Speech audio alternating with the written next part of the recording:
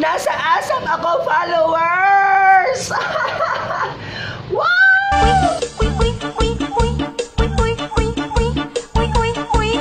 Hello, followers.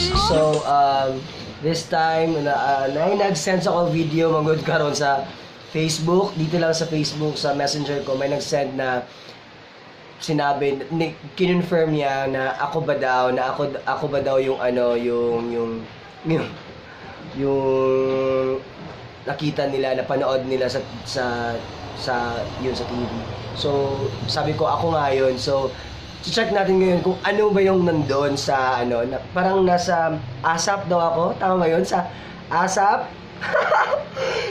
sa ASAP online about kay Kinsu na ah yung bawal lumabas na ano. So, tignan natin. Let's go. Sabay-sabay natin panoorin ah. Ngayong ECQ, maraming rules. At isa na dyan ang bawal lumabas. Ito rin ang naging trending statement ni Chinita Princess Kim Chu na pinick up ng maraming netizens. Pero mula dito, maraming videos ang lumabas. May mga dance videos, Eh! Ayun ako.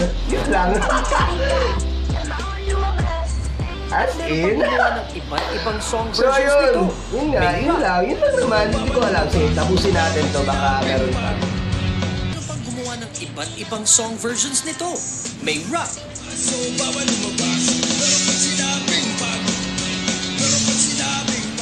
Wow, astig! Acoustic! Nag-comply ka na bawal lumabas Pero may sina, chill. Jazz! Sa classroom may batas Bawal lumabas o bawal lumabas Suabe! At meron ding rap, Di ba sabi ko naman sa'yo bawal lumabas reggae. Sa classroom may batas At sa maniwala kayo at sa hindi, meron pang Japanese version. Hay! Online phenomenon na nga ang bawal lumabas. Kaya naman si Kim, naglabas na rin ng recorded version nito na umabot sa total of 11 million views and counting. At dahil sa super success nito, nagkaroon pa ng bawal lumabas merchandise. Wow. At today sa asap natin to, lalabas na ang hit na hit na single, Bawal Lumabas, also known as the Classroom Song.